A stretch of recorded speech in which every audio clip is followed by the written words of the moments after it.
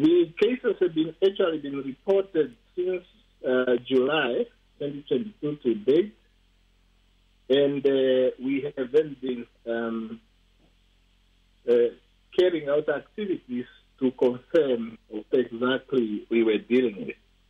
H- H1N1 uh, is part of the common cold that uh, are circulating seasonally from time to time.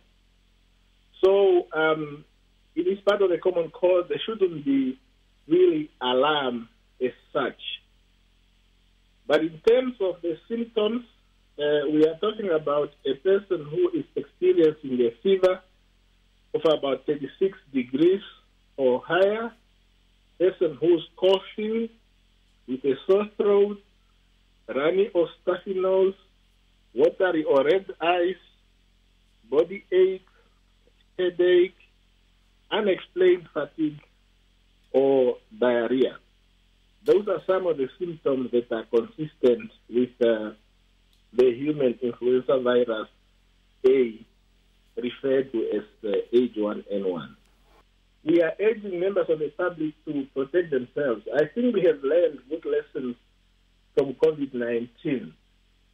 So uh, now that we have this uh, virus circulating, members of the public urged let's uh, wear masks, uh, refrain from uh, joining large crowds, and basically practice uh, physical distancing.